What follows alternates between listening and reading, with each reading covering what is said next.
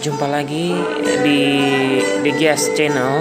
Pada kesempatan ini kita akan membahas tentang ajaran Allah Tritunggal.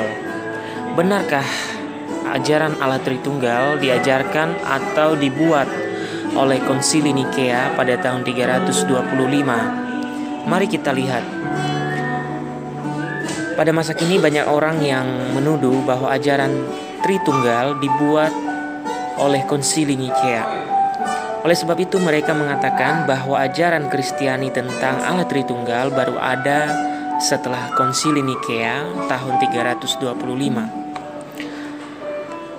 Namun pandangan tersebut keliru dan ahistori karena ajaran tentang Allah Tritunggal dapat ditemukan dalam berbagai ayat kitab suci. Selain itu, para bapak gereja sebelum Konsili Nikea juga mengajarkan tentang Allah Tritunggal. Berikut adalah beberapa kutipan dari ajaran Bapak Gereja tentang Allah Tritunggal. Yang pertama dari Santo Polikarpus yang hidup tahun 69 sampai 155.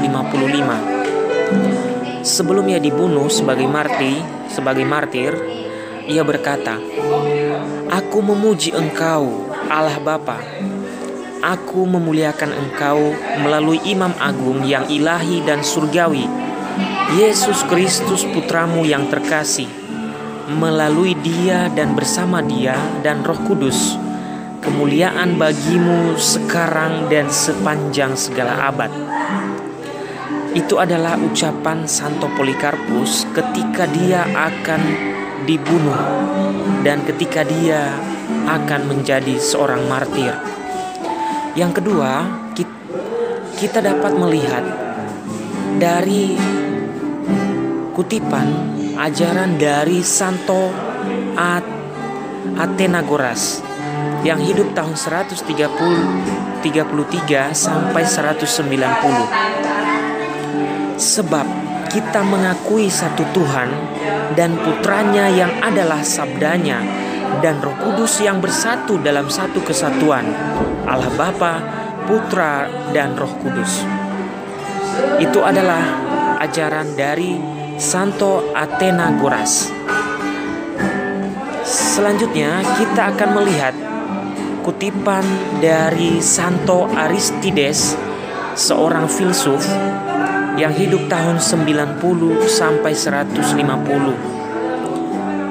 Ia berkata, Orang-orang Kristen adalah mereka yang di atas segala bangsa di dunia telah menemukan kebenaran sebab mereka mengenali Allah, Sang Pencipta segala sesuatu di dalam putranya yang tunggal dan di dalam Roh Kudus. Selanjutnya, kita akan melihat kutipan dari Santo Theophilus dari Antiochia yang hidup sekitar tahun 180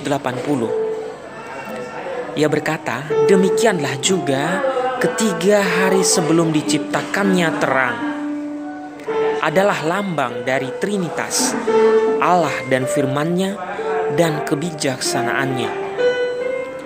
Nah, selanjutnya kita melihat kutipan atau ajaran dari Santo Clemens dari Alexandria yang hidup tahun 150 sampai 215. Ia berkata, Sang Sabda, Kristus adalah penyebab dari Allah, dari asal mula, karena ia ada di dalam Allah dan penyebab dari kesejahteraan kita. Dan sekarang Sang Sabda yang sama ini, yang sama ini telah menjelma menjadi manusia. Ia sendiri adalah Tuhan dan manusia dan sumber dari semua yang baik yang ada pada kita. Nah, Berdasarkan data di atas, berdasarkan ajaran bapak ajaran bapak-bapak gereja di atas atau yang telah kita uh, sebutkan tadi, kita mengetahui bahwa ajaran Tritunggal bukanlah buatan Konsili Nikea, melainkan ajaran ajaran tentang Tritunggal berasal dari kitab suci itu sendiri dan direfleksikan dalam iman para bapak gereja yang baru saja kita kutip dalam video tadi eh, dalam pembahasan kita saat ini. Nah, Bapak Ibu saudara-saudari, maka kita tidak meragukan tentang iman Kristiani kita karena kita mengetahui bahwa ajaran Tritunggal bukanlah buatan manusia, melainkan berasal dari kitab suci dan direfleksikan oleh para bapak gereja, murid-murid para rasul. Sekian pertemuan kita pada video kali ini. Dukung terus channel DGS Channel dengan subscribe, like, dan share untuk mendapatkan berita-berita terbaru atau pembahasan-pembahasan terbaru dalam channel ini. Salam sejahtera untuk kita semua.